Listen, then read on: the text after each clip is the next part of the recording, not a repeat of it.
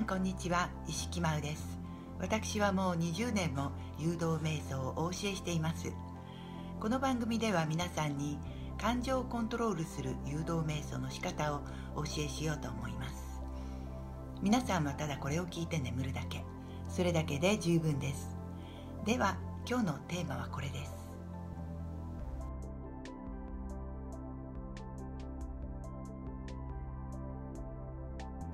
皆さんの中には今回の騒動で仕事を失った方もいらっしゃるかもしれません。そういう時はとても残念で悔しくて悲しいですよね。それは収入が減ったということだけではなく所属するところから見捨てられたという感覚があるからなんです。ですから本来だったら出来事だけを純粋に見つめて今お金がこれだけあるからこのくらいは大丈夫だ。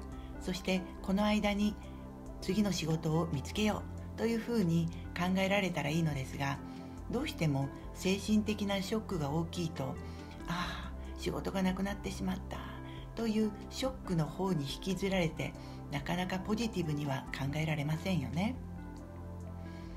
でも皆さんよく覚えておいてください。皆さんが今持っている感情は今のものでは実はなくてこれは過去から来ていてそして今この状況で作った感情がプラスされています。そしてこの今持っている感情が実は未来を作るんですね。ですから今この出来事によって持っている感情に過去の思いをプラスすることをまずやめる。そして過去の思いを減らした分未来のポジティブな希望をプラスしてあげるといいですね。つまり今持っている感情は実は過去と結びついています。この過去をまず外してあげて未来のポジティブな感情をつけてあげる。そうすると今持っている感情がプラスの方に向きますからそうするとより良い未来が作れるというわけなんです。ではどうやったら過去のネガティブな記憶をくっつけるのをやめられるでしょうか？それをこれからお教えしますね。仕事を失った時にくっついてくる過去からの思いは実は見捨てられたという思いなんです。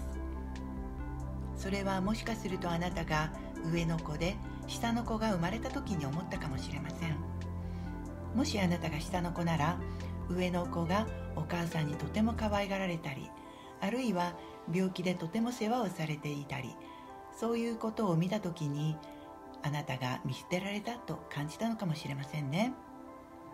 もしかするとお父さんにひどく怒られて自分はもういらない子なんだって思ったのかもしれません。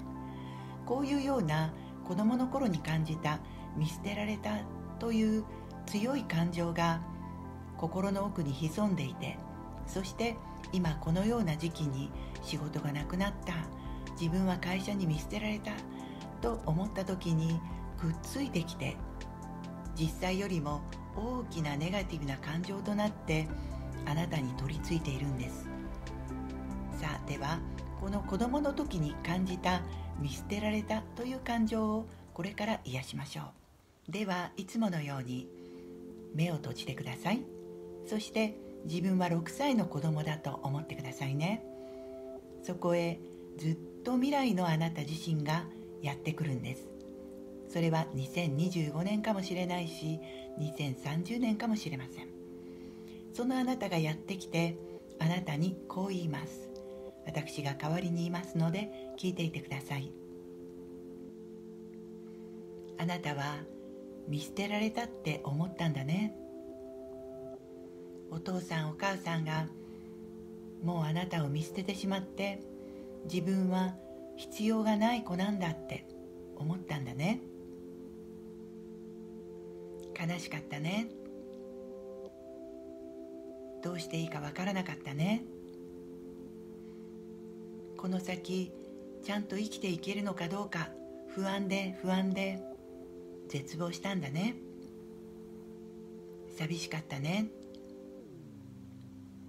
大人の自分は未来からあなたを助けに来たんだよ。あなたのそのとても寂しかった。絶望した気持ちを慰めに来たの。未来の自分はいつでもあなたの味方なんだよ。大丈夫だよ。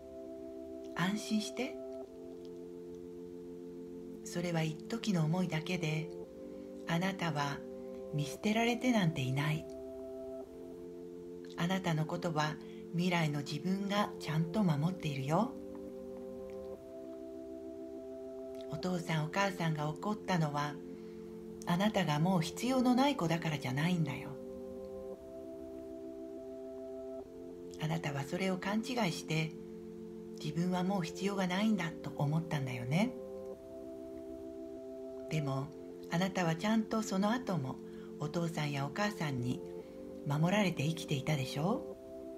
だから大人になったんでしょ。だからあなたが思ったほどあなたはお父さんお母さんに見捨てられたわけじゃないし必要じゃないと思われたわけでもないんだよ。それは勘違いなんだよ。あなたはちゃんと守られているんだよ。安心していなさい。そして未来に対して希望を持っていなさい。大丈夫大丈夫。自分は必要とされているって信じてごらん。あなたは今仕事がないって思っているかもしれないけどもっと素晴らしい仕事もっとやりがいのある仕事もっと面白い仕事をイメージしてごらん。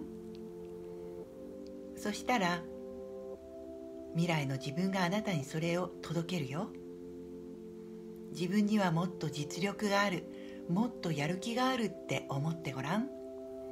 そしたらあなたを必要とする会社はどんどん増えてその中から一番いいものを選べるよね。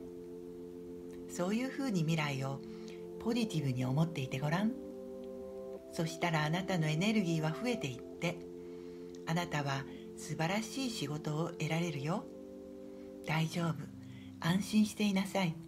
未来の自分はいつでもあなたのそばにいてあなたを守っているからね。あなたを最善の道に導くからね。あなたが大好きだよ。いかがでしたか？パワーが出てきましたか？大切なのは今感じている感情がネガティブであれば未来にネガティブが続いてしまうということです。ですから今できるだけポジティブな思いを持ってそしてパワーを増やしていきましょう。あなたの未来は明るい。そう信じて頑張りましょう。ではまた次回。